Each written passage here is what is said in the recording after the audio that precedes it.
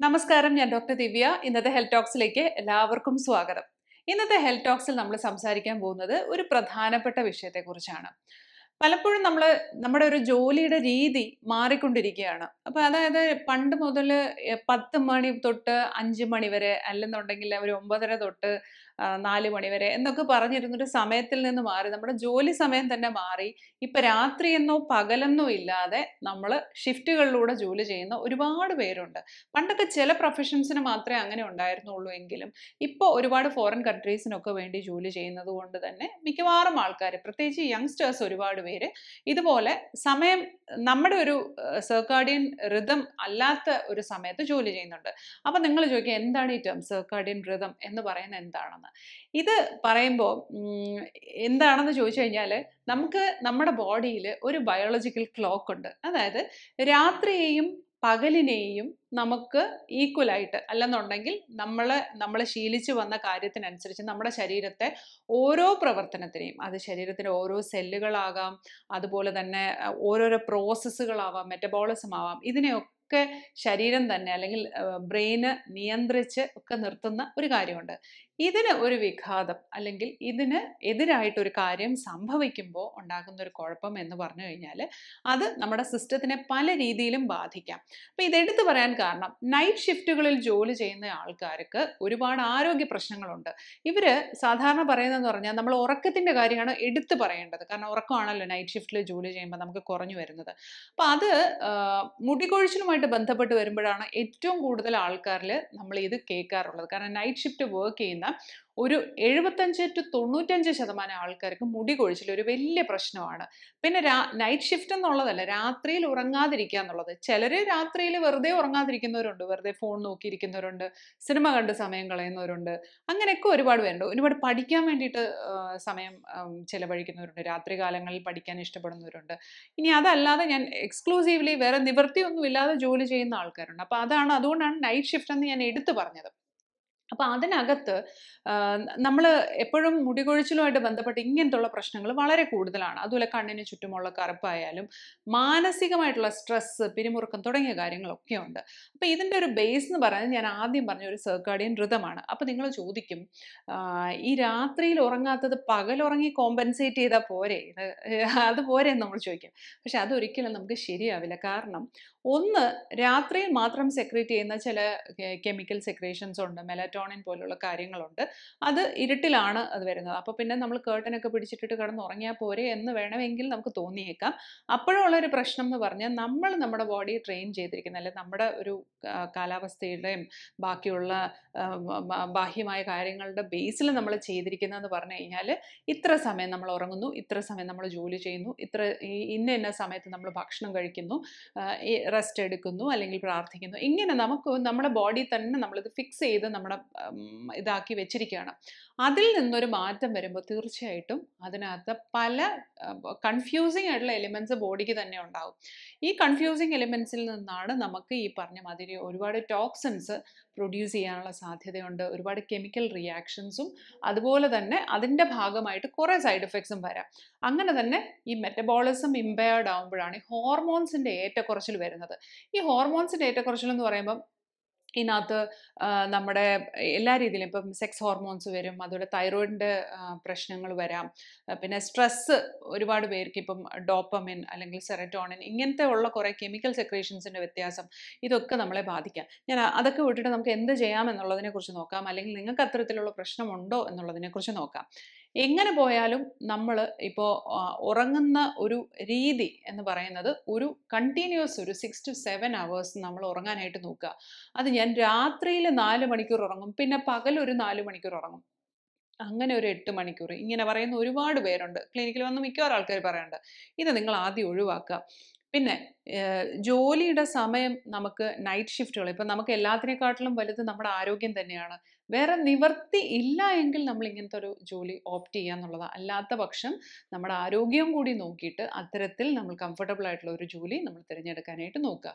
പിന്നെ ഈ night shift എന്ന് പറയുമ്പോൾ എന്താണെന്നറിയോ സ്ഥിരമായി നൈറ്റ് ഷിഫ്റ്റുകൾ ചിലപ്പോൾ ഒരു പക്ഷേ നമുക്ക് ഈ പറഞ്ഞതുപോലെ നമ്മുടേതായ ഒരു അന്തരീക്ഷം ഉണ്ടാക്കി നമുക്ക് റെസ്റ്റ് എടുക്കാനുള്ള സമയം കിട്ടും. ചിലർ പറയും ഈ ആഴ്ച എനിക്ക് ഇങ്ങനെയായിരുന്നു പകലാണ് ഷിഫ്റ്റ് അടുത്ത ആഴ്ച എനിക്ക് രാത്രി ഷിഫ്റ്റ് ഇങ്ങനെ മാറി തിരിഞ്ഞ് ഷിഫ്റ്റ് വരുന്നവരുണ്ട്. അപ്പം ഇവരുടെ കാര്യം വളരെയധികം പ്രശ്നത്തിലാവും. കാരണം ഈ ജനറ്റിക്സിൽ നമുക്ക് ബാൽഡിങ് അല്ലെങ്കിൽ കഷണ്ടി വരാനുള്ള ഒരു സാധ്യത ഉണ്ടെങ്കിൽ മിക്കവാറും ചെറുപ്പക്കാർക്ക് ഭയങ്കര പേടിയാണ് പതിനഞ്ചും പതിനേഴും വയസ്സുള്ള കുട്ടികൾ വന്നിട്ട് പറയുന്നത് എന്റെ അച്ഛന് കഷണ്ടി ഉണ്ട്. അതുകൊണ്ട് എനിക്ക് പേടിയാണ് ഇപ്പോഴേ വരുമോ എന്ന് അങ്ങനെ അവർ പറയുന്നത് സത്യം പറഞ്ഞാൽ അങ്ങനത്തുള്ള കാര്യങ്ങളൊക്കെ നമുക്ക് ഡിലേ ചെയ്യാൻ അതായത് കുറച്ചുകൂടി നീട്ടി നീട്ടി കൊണ്ടുപോകാനുള്ള ഒരുപാട് ഘടകങ്ങളുണ്ട്. പക്ഷേ ആ ഘടകങ്ങൾ പെട്ടെന്ന് വരാനുള്ള ഒരുപാട് കാര്യങ്ങളുണ്ട്. അതിലൊന്നാണ് നമ്മുടെ ഈ ഉറക്കക്കുറവ് എന്ന് പറയുന്നത്. അപ്പം അതുകൊണ്ട് പാരമ്പര്യമായിട്ട് മുടി കൊഴിയാൻ സാധ്യതയുള്ളവർ തീർച്ചയായിട്ടും ഉറക്കം കറക്റ്റ് ചെയ്യുക നൈറ്റ് ഷിഫ്റ്റ് ജോലികൾ മാക്സിമം നമ്മൾ ഒരു ഒരു സ്റ്റെബിലൈസ്ഡ് ആയിട്ട് നമുക്ക് ഒരു കൃത്യമായ രീതിയിൽ കൊണ്ടുപോകാനായിട്ട് നമ്മൾ നോക്കുക. അതൊന്ന്. പിന്നെ മറ്റൊരു കാര്യം എന്ന് പറഞ്ഞാൽ സ്ട്രെസ്സാണ് അറിഞ്ഞോ അറിയാതെയോ നമ്മൾ പലപ്പോഴും റിയാക്ട് ചെയ്യുന്ന രീതി വ്യത്യാസമുണ്ടെന്ന് പലരും പറയാറുണ്ട്. ഞാൻ അങ്ങനെ റിയാക്ട് ചെയ്യാനല്ല ഇരുന്നത്. പക്ഷെ എനിക്ക് അന്നേരം എന്റെ ദേഷ്യം കൺട്രോൾ ചെയ്യാൻ പറ്റില്ല. അതായത് സങ്കടം കൺട്രോൾ ചെയ്യാൻ പറ്റില്ല. ഇതൊക്കെയെന്ന് പറഞ്ഞാൽ ഈ ഇമോഷണൽ ഇംബാലൻസുകളും എല്ലാം ശരിക്കും പറഞ്ഞാൽ നമ്മുടെ ബ്രെയിനിലുള്ള കെമിക്കൽ സെക്രീഷൻസിന്റെ വേരിയേഷൻ കാരണമാണ് സംഭവിക്കുന്നത്. അപ്പോൾ അതുകൊണ്ട് അത് നിങ്ങൾ ഒന്ന് സ്റ്റെബിലൈസ് ചെയ്യാനായിട്ട് നോക്കുക. ഇതും ഒരു പ്രശ്നമാണ്. അങ്ങനെ ഉണ്ടെങ്കിൽ നിങ്ങൾക്ക് ഇതിന്റെ സൈഡ് എഫക്ട്സ് നിങ്ങളുടെ ബോഡിയിൽ തന്നെ നടക്കുന്നു എന്നുള്ളതാണ് അതിന്റെ അർത്ഥം. അടുത്തൊരു കാര്യം എന്ന് പറയുന്നത് ഉറക്ക കുറവാണ്. ഇപ്പം ചിലർ നൈറ്റ് ഷിഫ്റ്റുകൾ ഇറങ്ങി കുറേ കാലങ്ങളോളം ഉറങ്ങാതിരിക്കുന്ന ആൾക്കാരുണ്ട്. കാലങ്ങളോളം അവർ ഉറങ്ങുകയില്ല എന്നുവെച്ചാൽ ഇത് കഴിഞ്ഞാലും അപ്പോൾ അങ്ങനെ വരുമ്പോഴും ബോഡിയിൽ ഉറക്കം വളരെ അത്യാവശ്യമുള്ള ഒരു കാര്യമാണ്. തീർച്ചയായിട്ടും നമ്മളൊരു സ്ലീപ്പ് ഹൈജീൻ എന്ന് പറയും. അതിനുണ്ട് ഒരു ഹൈജീൻ സ്ലീപ്പിനും ഉറക്കത്തിനും. അപ്പോൾ അത് നമ്മൾ ശ്രദ്ധിക്കാനായിട്ട് നോക്കുക. സ്ലീപ്പ് ഹൈജീനെ കുറിച്ച് ഞാൻ പിന്നെ ഒരു എപ്പിസോഡിൽ പറയാം. അത് കൃത്യമായി നമ്മൾ എങ്ങനെ ഉറങ്ങണം അല്ലെങ്കിൽ എന്താണ് അന്തരീക്ഷം വേണ്ടത് ഏത് രീതിയിലാണ് നമ്മുടെ എന്താ പറയുക ഉറങ്ങുന്നതിന് മുമ്പുള്ള കുറച്ച് മണിക്കൂറുകൾ നമ്മൾ ഏത് രീതിയിൽ ചിലവഴിക്കണം ഉറങ്ങി എഴുന്നേൽക്കുന്നത് എങ്ങനെയായിരിക്കണം ഇതൊക്കെ ഒരു സ്ലീപ്പ് ഹൈജീന്റെ ഇതിൽ വരുന്നതാണ്. അതിന് അതിനൊരു എക്സ്ക്ലൂസീവ് എപ്പിസോഡ് തന്നെ നമുക്ക് ആവശ്യമുണ്ട്. അപ്പോൾ അതുകൊണ്ട് കൂടുതൽ ഡീറ്റെയിൽസ് ഇതിനകത്ത് പറയുന്നില്ല. പിന്നെ മറ്റൊരു കാര്യം എന്ന് പറഞ്ഞാൽ auto immune disorders auto immune disorder എന്ന് പറയുന്നത് ഒരിക്കലും ഒരു അസുഖത്തിന്റെ ഗണ ഗണത്തിൽ നമുക്ക് ഗണത്തിൽ നമുക്ക് പെടുത്താൻ പറ്റത്തില്ല. അതൊരു അവസ്ഥയാണ്. ഇപ്പം സോറിയാസിസ് ആയാലും സിസ്റ്റമിക് ലൂപ്പസ് എരുത്തമാറ്റിസം പോലുള്ള കണ്ടീഷൻ ആയാലും ഇങ്ങനെ കുറച്ച് ഓട്ടോ ഇമ്മ്യൂൺ ആയിട്ടുള്ള കണ്ടീഷൻസ് ഉണ്ട്. അലോപേഷ്യ ഒക്കെ ഏരിയേറ്റ ഒക്കെ ആണെങ്കിലും അങ്ങനെയാണ്. അതായത് നമ്മുടെ രോഗപ്രതിരോധ ശേഷിയിൽ വരുന്ന ചില ചില ഇമ്പയർമെന്റ് കൊണ്ട് നമുക്ക് ഉണ്ടാവുന്നതാണ് ഇതിന് ഇത് ഇതിലേക്ക് നയിക്കുന്ന ചില കാര്യങ്ങൾ ഈ തീർച്ചയായിട്ടും ഈ ഉറക്കക്കുറവ് നൈറ്റ് ഷിഫ്റ്റ് തുടങ്ങിയ കാര്യങ്ങളായിട്ട് ബന്ധപ്പെട്ടാണ്. സ്ട്രെസ്സ് മറ്റൊരു ഫാക്ടറാണ് അപ്പോൾ അതിനകത്ത് എക്സിമൻ സോറിയാസിസും ഒക്കെ വരുന്നത് ചിലർക്ക് ഈ ഒരു രീതിയിൽ പോകുമ്പോൾ ചിലർ പറയാറുണ്ട് ഈ ജോലിയിലേക്ക് മാറിയതിന് ശേഷം എനിക്ക് സ്കിൻ കംപ്ലയിൻസ് ആണ്. അപ്പോൾ അവർ ചിലപ്പോൾ ഓഫീസിനെയോ അല്ലെങ്കിൽ അത്തരത്തിലുള്ള കാര്യങ്ങളൊക്കെ ആയിരിക്കും ഞാൻ ഇരിക്കുന്ന സീറ്റിന്റെ പ്രശ്നമാണോ? അല്ലെങ്കിൽ ഞാൻ കുളിക്കുന്ന വെള്ളത്തിന്റെ പ്രശ്നമാണോ? ഞാൻ കഴിക്കുന്ന കഴിക്കുന്ന ആഹാരം ഓഫ് കോഴ്സ് അതിനകത്തൊരു പങ്ക് വഹിക്കുന്നുണ്ട്. പക്ഷെ നമ്മുടെ സ്ട്രെസ്സ് നമ്മുടെ മാനസികാവസ്ഥ ഇത്തരത്തിലുള്ള കാര്യങ്ങളാണ് കൂടുതലായിട്ടും ഇതിനകത്ത് നമ്മൾ ശ്രദ്ധിക്കുന്നത്. പിന്നെ മറ്റൊരു കാര്യം എന്ന് പറഞ്ഞാൽ ഇപ്പോൾ ഓഫീസിൽ നമ്മൾ വർക്ക് ചെയ്യുമ്പോൾ ഈ രാത്രി കാലങ്ങളിലുള്ള ഫുഡ് ഇപ്പം രാത്രി വളരെ ലേറ്റ് ആയിട്ട് ഫുഡ് കഴിക്കുന്നു. അങ്ങനെ തന്നെ ഡൈജഷനിൽ പല പ്രശ്നങ്ങൾ വരുന്നു. അങ്ങനെ തന്നെ വയറിന് പ്രശ്നം വരുന്നു.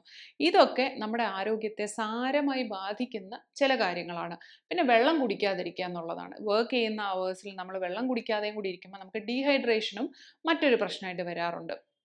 അപ്പോൾ പറഞ്ഞു വരുന്ന ഇതാണ് നമ്മുടെ ബോഡിയെ ഹാർമോണിയസ് ആയിട്ട് അതായത് വളരെയധികം സുഖമായിട്ട് കൊണ്ടുപോകാനുള്ള ഒരു അന്തരീക്ഷം നമ്മൾ തന്നെ ഒരുക്കി കൊടുക്കുക എന്നുള്ളതാണ് ഈ ഷിഫ്റ്റ് ചെയ്യുന്ന ജോലികൾ. അതായത് ഇപ്പോൾ ഒരു ഒരാഴ്ച ഇങ്ങനെ അടുത്ത ആഴ്ച ഇങ്ങനെ അല്ലെങ്കിൽ ഒന്നിടവിട്ട ദിവസങ്ങളിൽ ഇങ്ങനെ ഇങ്ങനെ എന്ന് പറയുന്ന ചില ജോലികളിൽ നമ്മൾ തന്നെ എഫേർട്ട് എടുത്ത് നമുക്കതിൽ എന്ത് ചെയ്യാൻ പറ്റും എന്നുള്ളത് നോക്കുക.